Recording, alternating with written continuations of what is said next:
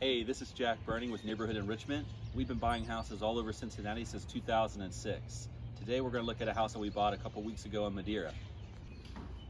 Okay, so again, uh, my name is Jack Burning. I got licensed as a realtor here in Cincinnati in 2005 and almost immediately started investing, working with investors, buying and selling houses. Um, so over the last 15, 16 years, that's what we've been doing. Just recently we decided, let's start documenting some of these properties that we are buying. There, there's usually a great story there, and I thought it might be helpful if you're a homeowner uh, considering selling. Uh, you don't want to go the traditional route. You want to sell it as is, quick, easy, have a ton of flexibility. Um, I can set some expectations on what that process looks like. Uh, so this is a house in the Madeira that seller comes to us with this property that they inherited.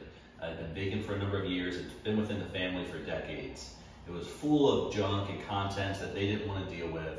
Um, they wanted the most money they could possibly get for the house, but they wanted to sell it quickly, no, no haggling, no nonsense. So we were able to offer them uh, non-refundable earnest money, show them a proof of funds that we're a real buyer, uh, offer them complete flexibility on when they wanted to close, and allow them to leave anything unwanted behind. We would take care of the rest. As you can see, we, we completely cleaned this house out. Uh, so that, that was of tremendous value to them.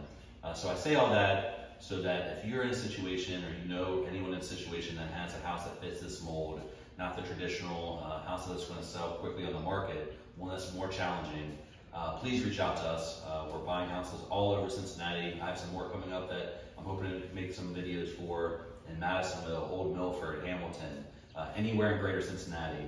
Uh, please reach out to us. it's Neighborhood Enrichment, neighborhoodenrichmentohio.com.